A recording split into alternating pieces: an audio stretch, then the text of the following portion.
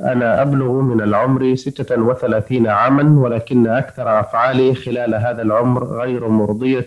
وقد ارتكبت الكثير من المخالفات ولم أكن أصوم رمضان سوى من عامين فقط وكذلك الصلوات. فماذا يجب علي نحو الصلاة والصيام؟ فإني قد عقدت العزم على التوبة الصادقة إلى الله. كذلك حلفت أيمانا كثيرة وقد حنثت في الكثير منها ولكني أجهل عددها. فهل علي كفارة؟ وكيف تؤدى؟ وأنا أجهل عدد عدد الأيمان التي حنث فيها. أما القضية الأولى وهي تركك للصلوات سنين وتركك للصيام فهذه الفترة التي كنت فيها على هذه الحالة لست على الإسلام لأن من ترك الصلاة متعمدا فهو كافر سواء كان جاحدا لوجوبها أو مقرا بوجوبها وتركها كسلا على الصحيح فكل هذه الفترة وأنت لست على دين لكن لما من الله عليك بتوبة وتبت إلى الله وحافظت على الصيام والصلاة فإن التوبة تجب ما قبلها ولا يلزمك قضاء ما فات قبل التوبة. وأما من ناحية الأيمان التي حلفتها وخالفتها ولا تدري كم عددها فعليك أن تقدر تقدر هذه الأيمان تجتهد في تقديرها وتكفر عنها وتحتاط. لو قدرتها مثلا عشرة أيمان تحتاط وتزيد فيها يمين مثلا وهكذا. عليك بالاحتياط. قدر واحتط واترك